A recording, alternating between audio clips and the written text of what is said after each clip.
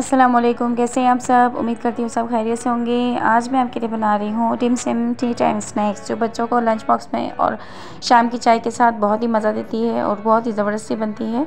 तो चलिए बनाना शुरू करते हैं। चिकन लिया है मैंने एक पाव के करीब। हरी मिर्च लिए हैं तीन से चार अदद। लहसुन के जवे लिए हैं छः से आठ अदद। धनिया की पत्तियाँ लिए हैं मैंने। नमक लिया है टेस्ट के हिसाब से। पिपरिका लिया है हाफ़ चम्मच। कुटी हुई मिर्च ली है हाफ़ चम्मच। पिसी हुई काली मिर्च ली है हाफ़ चम्मच। सोया सॉस लिया है दो चम्मच भर के।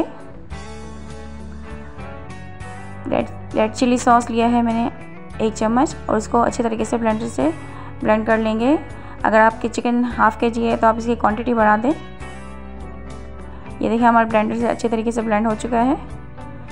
हाफ़ अंडर लिया है मैंने। हरी प्याज ली है मैंने दो चम्मच भर के और कॉर्नफ्लावर लिया है मैंने दो चम्मच भर के। ये देखिए हमारा बैटर रेडी है।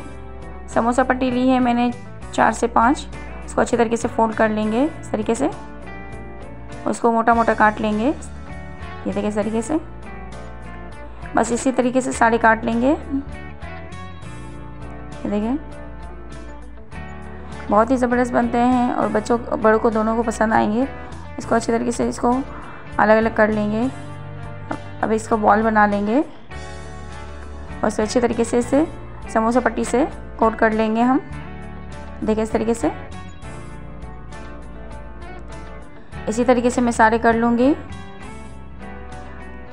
ये देखें ऑयल गर्म रख दिया है मैंने। मीडियम फ्लेम पे। ये एक एक करके इसमें डालते जाएँगे। मीडियम फ्लेम पे हम इसे पकाएँगे ताकि हमारा चिकन भी अच्छे तरीके से पक जाए। एक साइड से रेड हो चुका है, दूसरी साइड चेंज कर देंगे। इसी तरीके से सारे बना लेंगे। ये देखें रेडी है हमारा क्रिस्पी